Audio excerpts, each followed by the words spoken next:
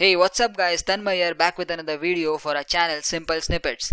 So in this video we'll be discussing about the concept of logic gates and see some basic gates. In the previous video we discussed about the De Morgan's law so if you have missed it you can check it out. Okay so let's get started with today's tutorial.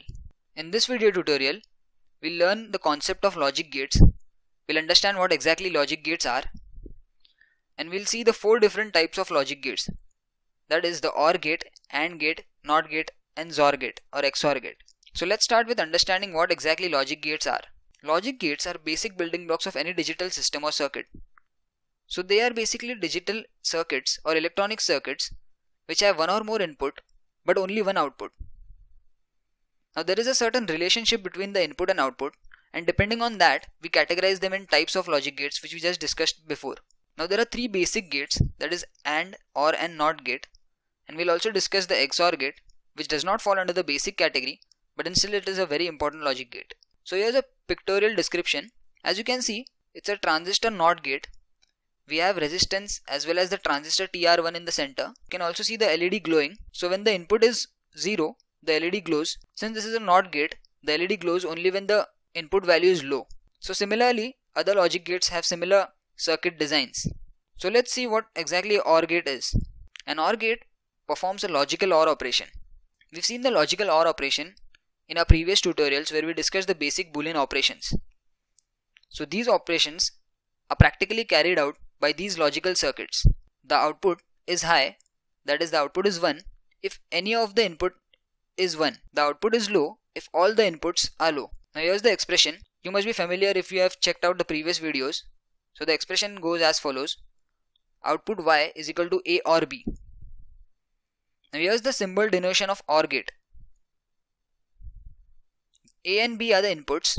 So this is an OR gate with two input values. It can also have more than two values, but for simplicity purpose I've just drawn two input values. And the output is as shown y is equal to A or B. Also this is the truth table of an OR operation. So as you can see, only when the value of A and B is 0, the output is 0 and rest in all cases it is 1. So let's move on to the AND gate. So AND gate performs a logical AND operation. We also saw this operation in our previous tutorial so if you have missed it you can always check it out. In the AND gate operation the output is high if all the inputs are high. That is the output is always equal to 1 only when all the inputs are 1. And the output is 0 or low if any one input is 0 or low. So here's the expression the output y is given by a and b. Now the logical circuit design denotion is shown on the screen. As you can see it, it has two inputs a and b and one single output which is given by y is equal to a and b. Here's the truth table for the AND gate or AND operation. The output y is high or is 1 only when a and b both are equal to 1. Rest in all cases the value is 0.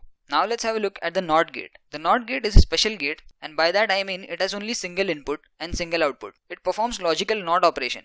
We've seen the NOT operation in the previous tutorials and it performs similarly that is if you provide a 0 value, it inverts it to 1. If you provide 1, then it inverts it to 0. So the output y is high if input is low and output is low if input is high. So it is also known as an inverter. Here's the expression y is equal to a complement. Here's the symbolic representation of the NOT gate. We have a single input a and single output y which is equal to a complement. Here's the truth table for the NOT gate. As you can see when a is 0 y is 1 and when a is 1 y is 0 that is the values are inverted.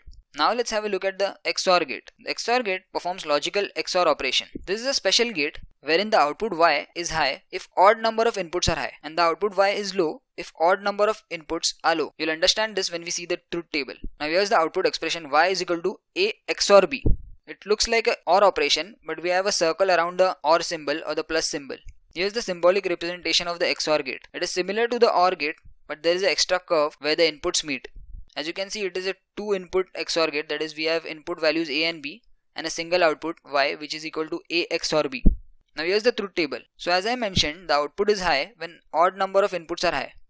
So in the case 2 and 3 we have only one input which is high. So that is the reason why the output is high. But in the case first and the last odd number of inputs are not high. That is in the first case both the inputs are 0. So we end up with the output as 0. And in the last case both the inputs are high that is even number of inputs are high that is the reason why the output is 0 that's it for this video guys If you like this video, give it a thumbs up and share it with your friends. Also make sure you subscribe to our channel so that you get notified when you upload the next video. Also in the next video, we'll discuss about the universal gates. Now these gates are different from what we discussed in today's tutorial and you'll understand them when you check out the video. Peace.